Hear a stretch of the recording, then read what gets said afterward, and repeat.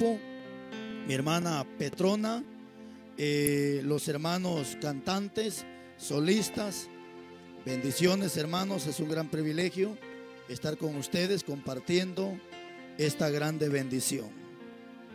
Gálatas capítulo 6, versículo 7.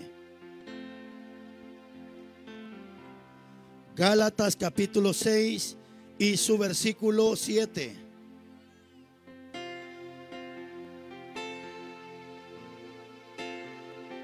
Dios bendiga a los pastores que también por ahí están. Gálatas capítulo 6, versículo 7.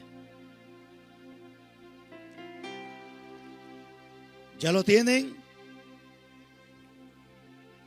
Muy bien. Lo leemos en el nombre de Jesús. Y dice su Biblia y la mía. No os engañéis. ¿Por qué? Dios no puede ser burlado. Pues todo lo que el hombre sembrare, ¿qué dice su Biblia? Eso también cosechará. Siéntese, hermano.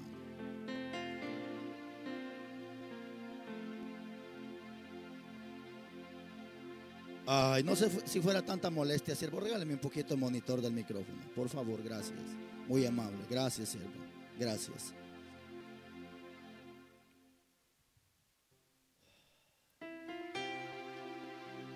Lastimosamente este versículo que acabamos de leer, muchos lo han tomado solamente a su conveniencia.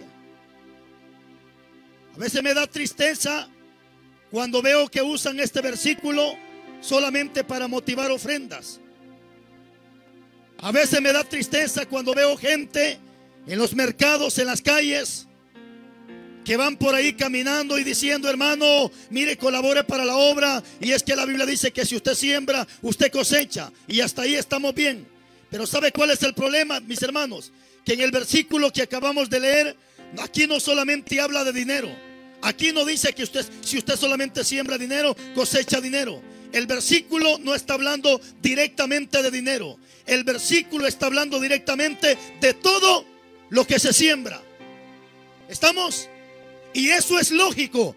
Que si aquí siembran a jonjolín, no van a cosechar elotes. Es obvio que si sembraron a jonjolín, pues van a cosechar a jonjolín. ¿Cierto o no cierto?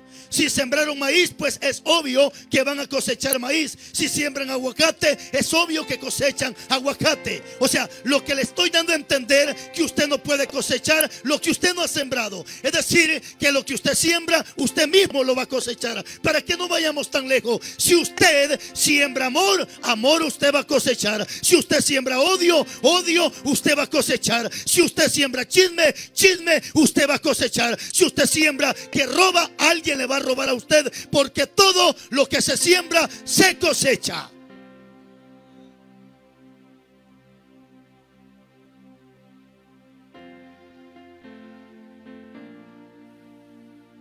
Aleluya. El apóstol Pablo, mis hermanos, se ve la gran necesidad de escribirle esta carta a esta iglesia. Y escuchen bien, hermanos, antes de que entremos en lleno con esto. Escuche bien. Dos cosas pasan cuando se predica un mensaje. Y yo creo que desde el momento que me invitaron a predicar, sabían para qué me invitaron a predicar. Yo creo que la mayoría ya me conocen qué tipo de mensaje predicamos. Así que usted nunca va a escuchar en una campaña o en un mensaje que, que yo esté predicando temas de que hermano, que mire, que aquí, que allá y que chulito esto. No, casi siempre en los mensajes lo primero que me gusta es señalar el pecado con la Biblia. ¿Sabe por qué, mi hermano? Porque de qué sirve que usted esté bendecido económicamente. ¿De qué sirve que tenga una gran casa? ¿De qué sirve que tenga dos carros estacionados en su su casa. Si, si se muere, va para el infierno. ¿De qué sirve lo económico? Es que ese es el problema. Hay gente que está engañada y por eso dice el versículo, no se engañen.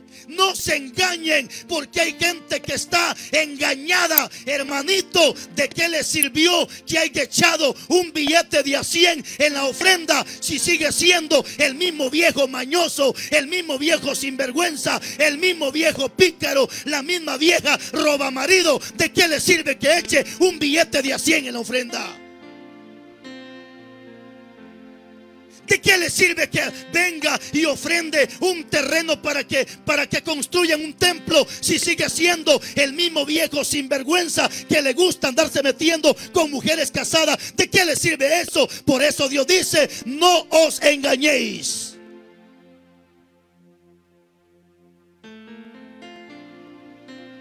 La primera vez que prediqué en una campaña fue en Cajola, que Exaltenango. Yo pensé que la gente no entendía el español y sí entienden bien que estén mudos es otra cosa, pero eso a mí no me preocupa. Lo, que me preocupa es que, es que la palabra sí llegue con usted como tiene que llegar. No os engañéis, hermanito lindo. Amigo, amigo, no te engañes.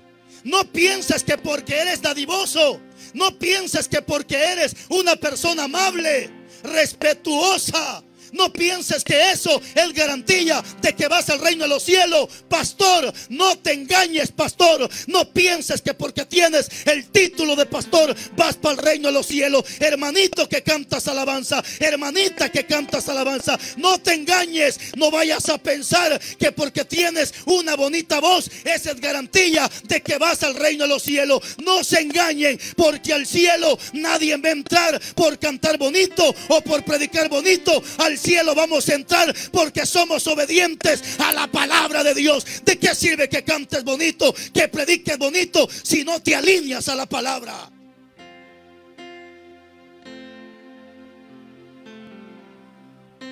Hay gente, mis hermanos, y eso fue lo que Dios le dijo a Ezequiel, porque hay gente que está engañada, piensa que por lo que hace, eso es garantía de que va al reino de los cielos.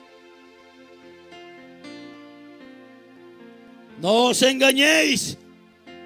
Dios no puede ser burlado. ¿Cuántas mujeres están en las iglesias cantando y brincando y hasta hablando lenguas? Pero de repente usted las mira que están metidas con el brujo, haciéndole maldad a la gente, visitando brujos, visitando brujas. Y de repente las mira en la iglesia que están cantando. No te engañes, hermanita.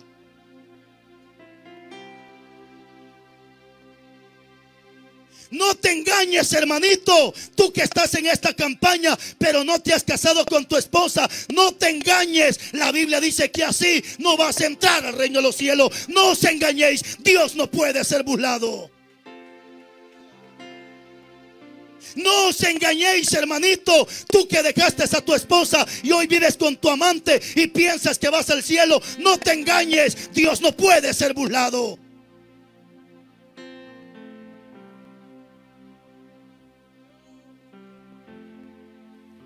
Mucha gente está engañada en la iglesia. Porque hoy todo mundo dice ir al cielo. Hoy todos dicen que van para el cielo. La bruja dice que va para el cielo. El cantinero dice que va para el cielo. El que vende marihuana dice que va para el cielo. El que vende cocaína dice que va para el cielo. La política dice que va para el cielo. Y todo basural dice que va para el cielo.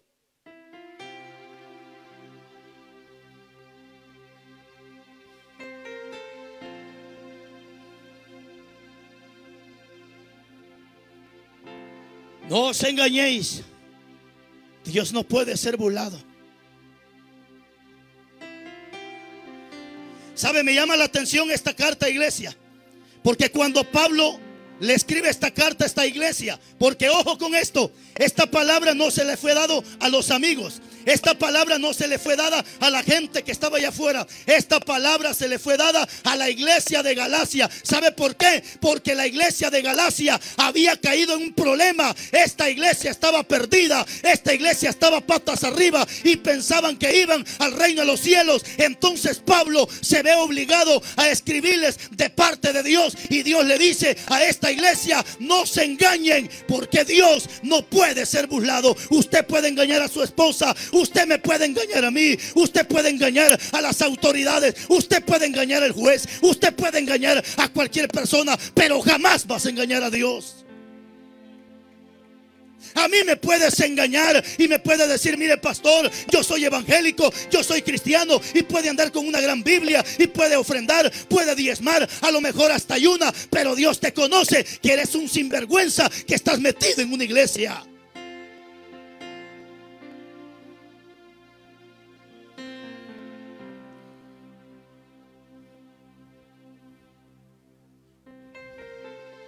Hermanos del grupo, no nos engañemos. No nos engañemos. Por misericordia Dios me permite tener un grupo de alabanza. Yo le he dicho a los muchachos, no nos engañemos. Que porque estamos aquí tocando un instrumento, eso no es garantía de que vamos al cielo.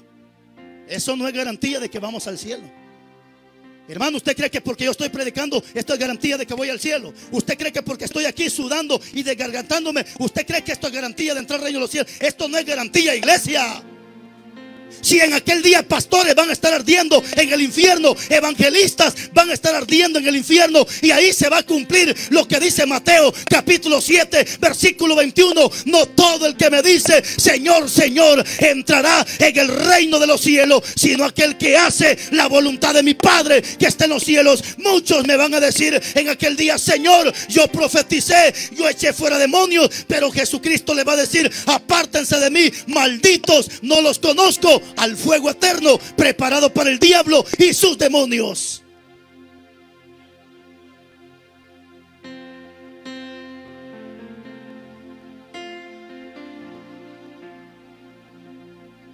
Hay pastores que predican la palabra y dejaron a su esposa y hoy viven con una mujer que no es su esposa y están pastoreando. Mujeres que cantan, dejaron a su esposo y hoy viven con otro hombre que no es su esposo y están cantando los altares. Y la gente piensa que eso es garantía de entrar al reino de los cielos.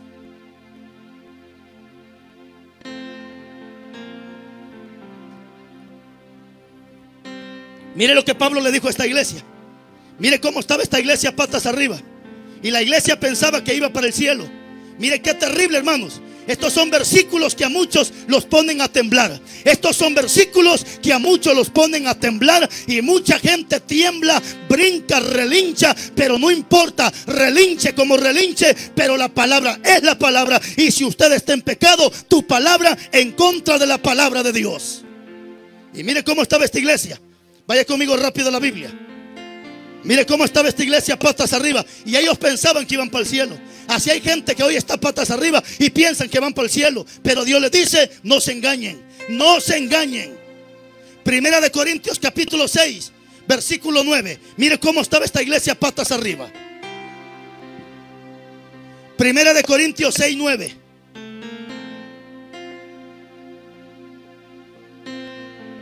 Yo sé que para muchos este mensaje no va a ser de agrado. Para muchos esto va a ser molestia, ofensa, etcétera, etcétera. Pero eso ya no es asunto mío. Si no quieren que mañana no venga, pues me dicen de una vez, ya mañana no vengo, pero solamente déjenme que les predique este mensaje. Y si mañana no quieren que venga, pues ya no vengo para mí, pues ni modo, yo me voy para la casita. Primera de Corintios capítulo 6, versículo 9. Mire cómo estaba esta iglesia patas arriba. Hermano, y es bueno que usted compre Biblia. No sea igual que el católico. El católico solo llega, se persina y, y se va para la casa. No, hombre, compre Biblia, hermano. Compre Biblia para que no pelee con la gente, para que se dé cuenta lo que la Biblia dice. Aprenda a comprar su Biblia. Aunque sea de 30, 40 que sale, compre su Biblia. Primera de Corintios 6, 9, ¿lo tiene? Ojo, ojo, cómo estaba esta Biblia. ¿Qué dice su Biblia? No sabéis que los injustos no heredarán el reino de Dios. ¿Qué dice? No erréis. En otras palabras, no te engañes. En otras palabras, no te equivoques no erréis. ¿Qué dice?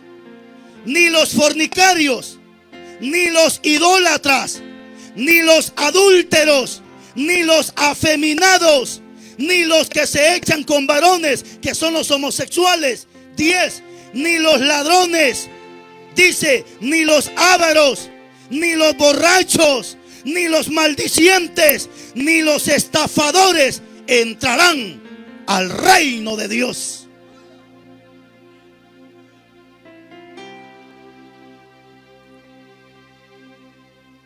Mire cómo estaba esta iglesia. patas arriba, como dicen los patojos. En esta iglesia habían adúlteros, habían borrachos, habían maldicientes, habían ladrones, habían afeminados, habían homosexuales, habían ladrones, habían estafadores. Y ellos estaban contentos ahí. Pero llega Pablo y le dice, hey, no erréis. En otras palabras, no te equivoques. Así no vas para el cielo. Estos son los mensajes que los pastores deberían estar predicando adentro de las iglesias. Pero estos hijos del diablo lo que les interesa es la plata. Por eso hoy en día solo mensajitos de bendición, mensajitos de prosperidad, mensajitos que entre más grande tu billete, más grande tu bendición. Y aunque el que está ofrendando es un adúltero, es un borracho, es un pícaro sin vergüenza.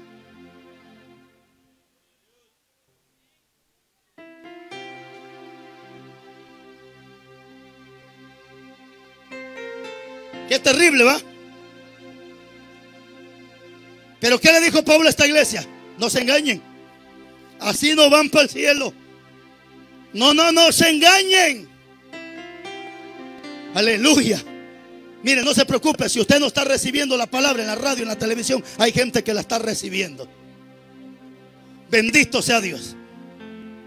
Ahorita que estoy predicando que nadie dice gloria a Dios, eso no me extraña. Yo cuando predico en mi cuarto me encierro solo yo y el teléfono, ahí nadie dice amén, aleluya. Ya estoy acostumbrado a eso, pero lo que me interesa es que le llegue la palabra a usted. ¿Sabe por qué? Porque aquí hay gente engañada, aquí hay gente equivocada, aquí hay gente que si ahorita se muere va para el infierno, pero ¿sabe qué es lo importante? Que mientras hay vida, hay esperanza en vida. El borracho puede arrepentirse, la prostituta, el homosexual, mientras hay vida, hay esperanza y ese es el propósito de este mensaje, que si hay un borracho, si hay un homosexual, si hay una lesbiana, si hay un adúltero, si hay un ladrón, si hay un estafador, hoy se puede arrepentir porque mañana puede ser demasiado tarde. ¿Sabéis que los injustos, le dice Pablo, no van a entrar reino de los cielos? Mira hoy cuánta gente injusta ¿Cuántos hombres injustos en las iglesias? Hermana, no sea injusta. Si su hermana le prestó 50 quexales, no sea injusta. Vaya, pague lo que usted ya se comió. No sea injusta. Si usted pide fiado en esa tienda, también compre en esa tienda. No sea injusta, porque hay gente que pide fiado aquí y cuando tiene pisto, compre en otra tienda. No sea injusta.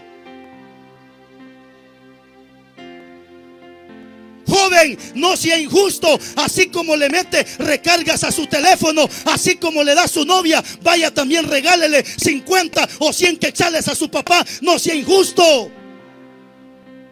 Porque para la novia sí hay.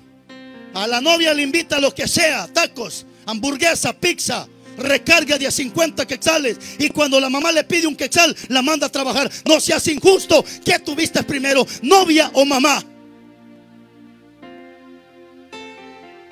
Hombre, no seas injusto. ¿Cómo es posible que piensas dejar a tu esposa que tiene dos hijos para irte con una mujer que tiene cuatro hijos? No seas injusto.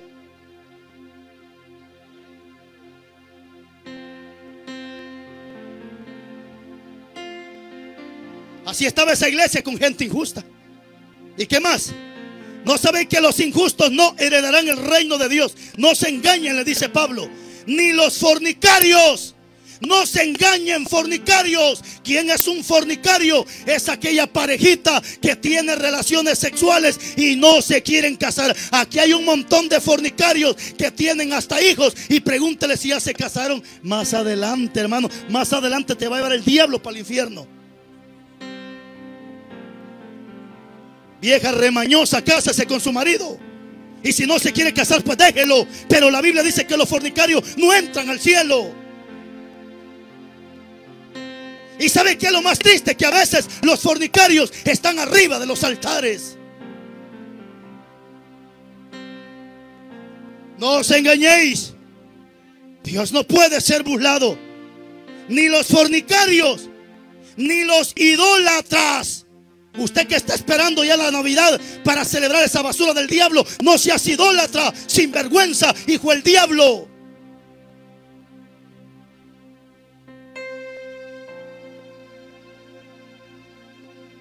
Vergüenza que ahorita para diciembre hasta equipos de fútbol hacen en las iglesias para hacer los, los, supuestamente los equipos navideños o los partiditos navideños.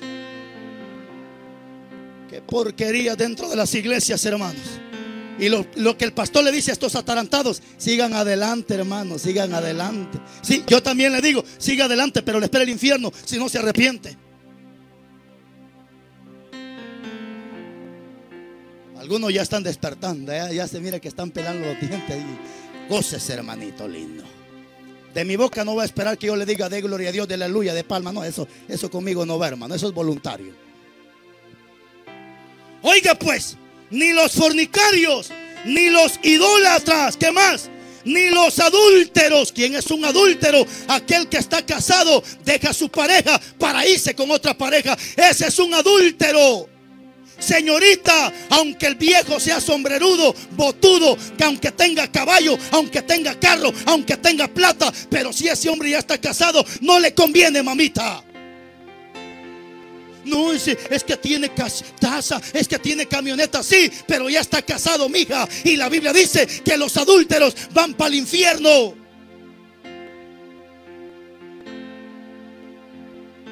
Ay, cómo me gusta el que toca la batería del grupo. Ese ya tiene esposa. Cómo me gusta el hermanito de la iglesia. Ya está casado, vieja mañosa. Deje de andar robando marido. Porque lo que se siembra, se cosecha. Si hoy usted destruye un matrimonio, mañana van a destruir el suyo. Porque eso sembró, eso va a cosechar.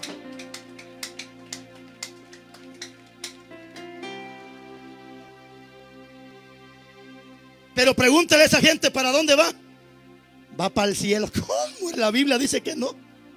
La Biblia dice que no, aunque llegue el curita y le aviente agua bendita, aunque ahí estén las viejitas cantando o contando las pelotas del rosario, que Santa María, Madre de Dios y que Padre nuestro, que no, no, no, te fuiste, te fuiste.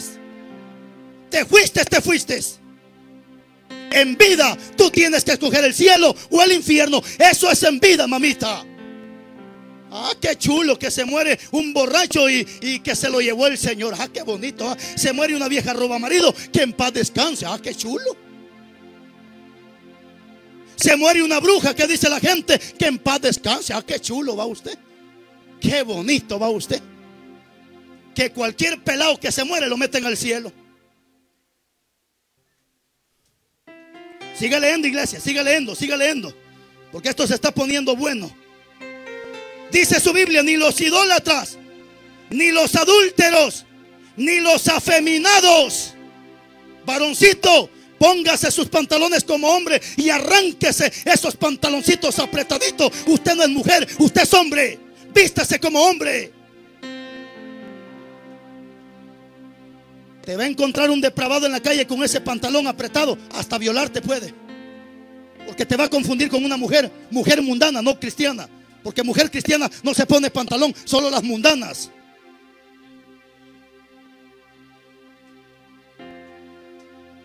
Desgracia que hoy los hombres hasta con sus pantaloncitos apretaditos y bien depiladitos, hermano.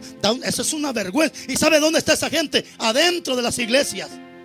Encaramados en los altares. Pero como le han enseñado que Dios lo que quiere es solamente su corazón.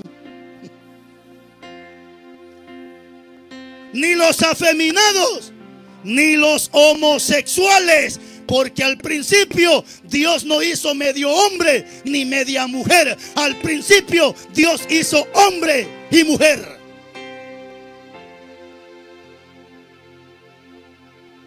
A ver, levante la mano todas las mujeres. Todas las mujeres levanten la mano. Todas las mujeres levanten la mano. Si es marimacha, deje su mano abajo. Pero si es mujer, levante la mano. Bendito sea Dios. Si mira que un hombre está levantando la mano, pégale un codazo. no, mano, usted es hombre, dígale. Baje su manita, hermana. Ahora sí, todos los hombres levanten la mano, todos los hombres. Bendito sea Dios.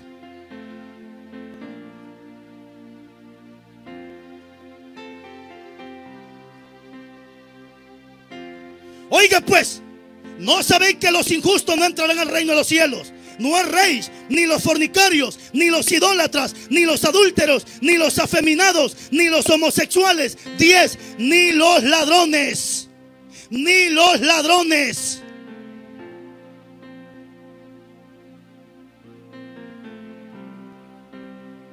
Aquí va a empezar el problema.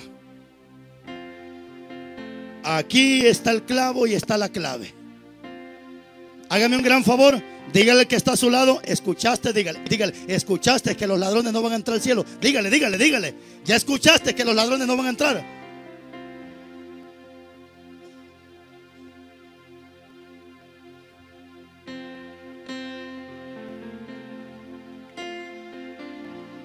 Les voy a dar un consejo. Si lo quieren tomar, tómelo. Si lo quieren dejar, déjenlo. Miren para acá, por favor, miren para acá. Si usted ya tiene su terrenito, hermana, ya deje de andar robando tierras allá afuera. ¿Está oyendo? Ya deje de andar invadiendo fincas, señora. No sea ladrona, porque los ladrones no entran al cielo. ¿Están oyendo? mire para acá, pues. Yo creo que ustedes saben dónde yo vivo. Yo vivo por Flores Costacuca. En Flores Costacuca, La Para hay una finca. La finca de Miramar, ¿se acuerda? Donde muchos sinvergüenzas pícaros que aquí están, el año pasado ya estaban invadiendo tierra. ¿Se acuerdan o no se acuerdan? ¿Se acuerdan o no se acuerdan?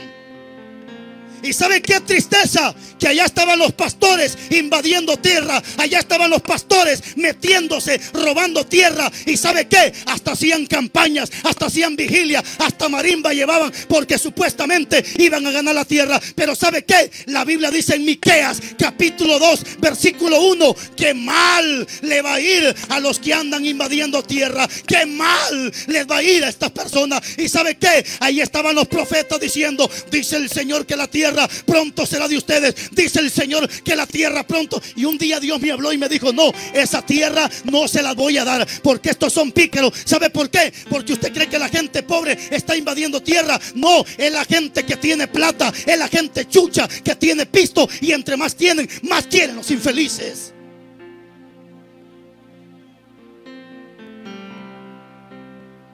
Ojalá que invadieran terreno para dárselo a los pobres.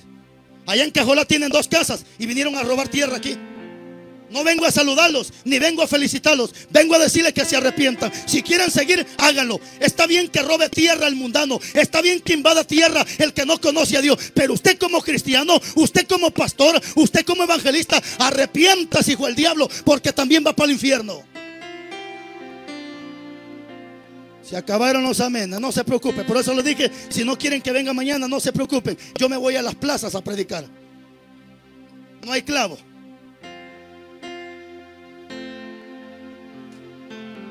Los ladrones no entrarán al reino de los cielos.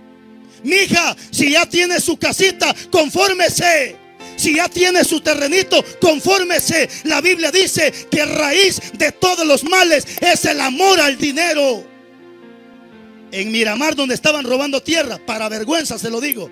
Hasta miembros de donde yo pastoreo estaban allá estaban metidos robando tierra y todavía le dije, hermano, sálganse de ahí, les va a ir mal. Mire, la Biblia dice que aquel que anda robando tierra le va a ir mal y hay gente que solamente le robaron la plata porque muchos de estos sinvergüenza eso le gusta sacarle plata a la gente y usted escuchó que dice la Biblia que los estafadores no entrarán al reino de los cielos. No es solo eso, cuánto pastor sinvergüenza que presta dinero y cobra interés. Escuche bien, pastor tramposo, sinvergüenza, pícaro, estafador. Aquí hay para todos, hermanos, no se preocupe. Menos para los amigos. Ya el amigo va a venir a los caminos de Dios cuando sea el debido tiempo. Hoy es un mensaje para los torcidos de las iglesias.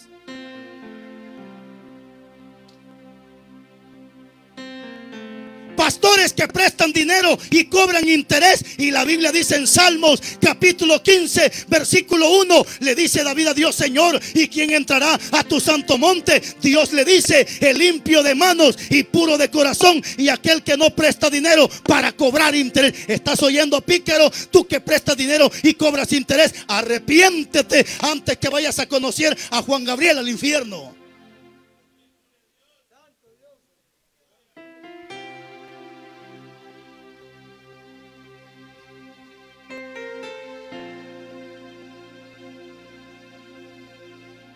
Yo miro que se secretea la gente.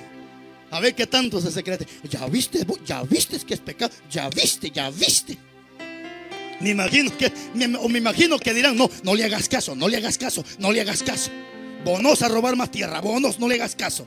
Problema suyo, la Biblia es la Biblia. Pero mañana usted le va a entregar cuentas a Dios de lo que hoy está escuchando. Y va a ser su palabra contra la palabra de Dios.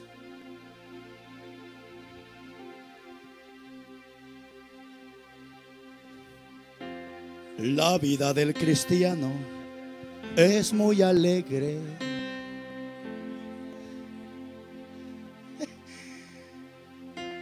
Cuando estaban invadiendo tierra allá, allá cerca donde yo vivo, yo le pedí a Dios que me diera una oportunidad de irles a predicar todos esos sinvergüenza, pícaros, fíjate hermano. Y yo le pedía, dice, Señor, porque como yo miraba que hacían campañas evangélicas y ahí estaban los profetas, dice el Señor que ya van a ganar, dice el Señor, dice. Y Dios no había dicho nada. Y de repente Dios me habla y me dice, vas a ver cómo voy a sacar toda esa gente sinvergüenza. ¿Y sabes qué pasó? Dicho y hecho, al poco tiempo salieron con la cola entre las piernas. Agarren ese patojo, por favor, hermanos, y quiten esa babosada. Así se habla, hermanos. No tenga miedo.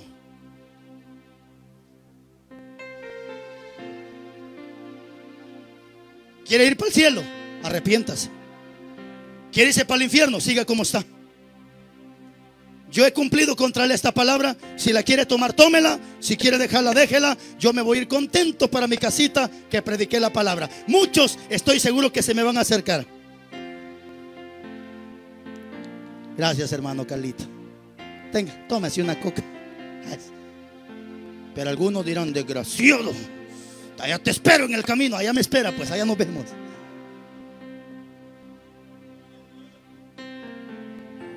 Ni los borrachos, porque en el cielo no hay cantinas, ni tampoco prostitutas. Ni los maldicientes, ni los estafadores entrarán al reino de Dios.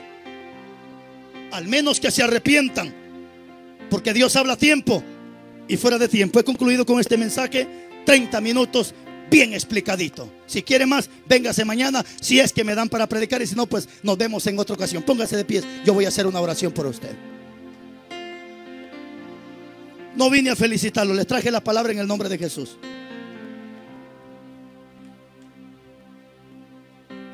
Cierre sus ojitos y dele gracias a Dios. No se moleste, no se moleste. Dígale gracias Señor que me hablaste. La Biblia dice que Dios al Hijo al que ama lo corrige. La Biblia dice que Dios al Hijo al que ama lo corrige. Es que hoy llegó corrección hasta este bendito lugar. Porque tienes un Padre que te ama. No vine a endulzarte el pecado. No vine a decirte felicidades. No vine a decirte así como estás, estás bonito. Te traje una amonestación de parte de Dios para que entiendas que Dios habla a tiempo y fuera de tiempo. Dale gracias a Dios, Padre, muchas gracias. He cumplido, Dios mío, como entregar este mensaje. Ahora te toca a ti, Dios amado, hacer el cambio que vas a hacer. Desde hoy nadie es ignorante, Padre. Desde hoy todos tienen conocimiento de tu palabra. Y es esta palabra la que mañana nos va a juzgar, Padre Celestial. Padre, solamente permíteme ser un hacedor de tu palabra. No quiero que esta palabra mañana me mande para el infierno, Padre. Quiero que esta palabra mañana me justifique, Padre Celestial, delante de ti. Para que tú me digas, siervo fiel y bien, ven entra al gozo del Señor. Eso es lo que anhelo que tú me digas, Padre.